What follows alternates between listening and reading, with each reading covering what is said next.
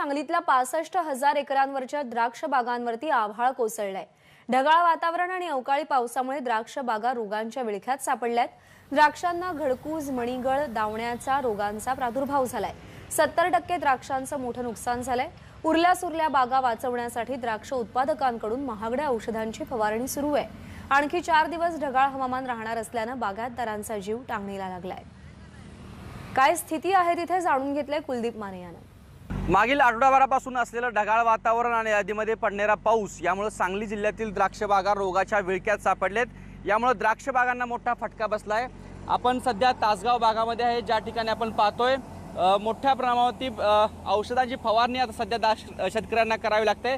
कारण मागील आठवडाभर ज्या पद्धतीचं ढगाळ वातावरण होतं या भागामध्ये ते जर पाहिलं तर द्राक्ष उत्पादक शेतकरी मोठा अडचणी सापडलाय. जवळपास जो अंदाज आहे की पासष्ट एकराच्या पुढच्या द्राक्ष बागांना या संपूर्ण आठवड्याभराच्या खराब वातावरणामुळं आणि अवेळी पडलेल्या पावसामुळं मोठा धोका उद्भवला आपल्यासोबत द्राक्ष उत्पादक शेतकरी मोहन पाटील आहेत. किती धोका या सगळ्या परिस्थितीचा अवेळी पाऊस आणि ढगाळ वातावरणाचा?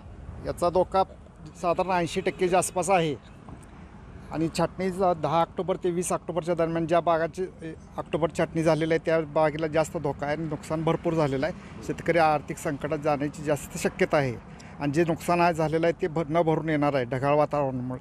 आणि याच्यावरती खर्चाचं प्रमाण वाढलेलं आहे शेतकऱ्यांचं. सध्या किती औषधांचा खर्च किती वाढू शकतो? आठवडाभर किती फवारण्या केल्या? आठवड्याभरात एक चालू ह्याच्यापेक्षा तीस ते चाळीस टक्के खर्च वाढलेला आहे औषध फवारणी. या फक्त आठवडाभराच्या खराब वातावरण खराब वातावरणामुळे. तर एकीकडं शेतकऱ्यांना हा बुरदंड देखील मोठा सहन करावा लागतो कारण क- सातत्यानं आठवडाभर ढगाळ वातावरण होतं आधीमध्ये अवेळी पाऊस देखील पडत होता. आणि त्यामुळंच शेतकऱ्यांच्या समोर एक मोठं संकट निर्माण झालंय.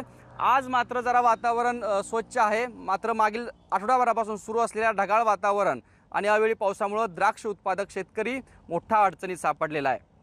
कॅमेरापर्सन योगेशसोबत कुलदीप माने एबीपी माझा तासगाव सांगली.